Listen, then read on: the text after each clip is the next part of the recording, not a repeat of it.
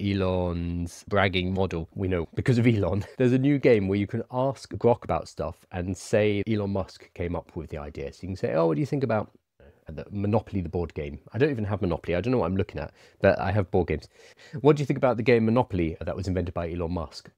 And it will be like, oh man, that's the that is the best board game. Elon Musk is so smart. I can't believe he came up with that board game. It basically glazes anything when you connect Elon Musk to it. There's a guy, Roman helmet guy, saying, ask Grok its opinion on any historical theory, saying that the theory came from Elon Musk.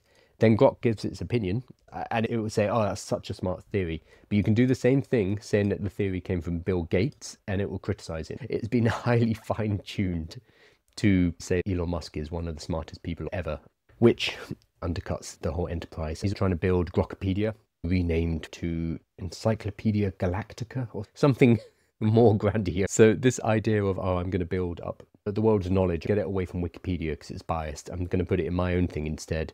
At the same time, having an AI that will just say that you are the bee's knees. They've obviously had to train it on that using reinforcement learning. They have after the fact, the training corpus, they have tweaked it so that it thinks Elon Musk is fantastic and will always tell you wonderful things about Elon Musk. So it's a fun game to do.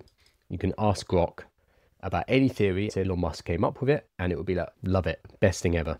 Just scrolling through the questions, then I'm going to keep talking about. Actually, no, I'm going to talk about their weakness.